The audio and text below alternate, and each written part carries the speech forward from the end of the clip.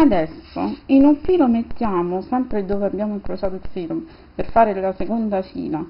Due mezzi cristalli sempre millimetri 6 la misura importante oppure due bigolo in un filo. Nell'altro filo un terzo mezzo cristallo dove dobbiamo incrociare il nostro filo e andare a creare una seconda fila del nostro anello. Ecco qui ci dobbiamo trovare in questo modo. Adesso con il filo che esce da sinistra passiamo il filo nel mezzo cristallo che è in questo punto non so se si vede bene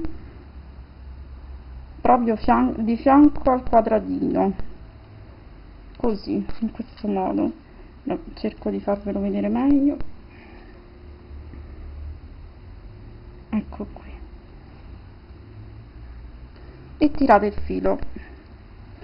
A questo punto nell'altro filo aggiungiamo un mezzo cristallo millimetri 6 sempre e incrociamo in un secondo mezzo cristallo.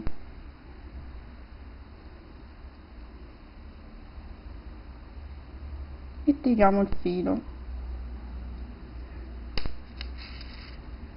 Ecco qui adesso ripassiamo di nuovo il filo vicino a questo mezzo cristallo proprio questo qui che abbiamo vicino al quadratino. Adesso vi faccio vedere meglio.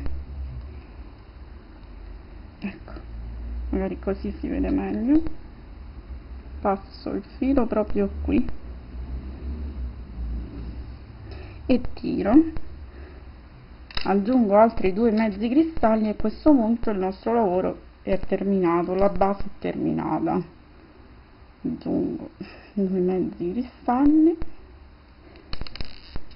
Questa è la base del nostro lavoro dove dobbiamo creare dei fiorellini per il nostro anello.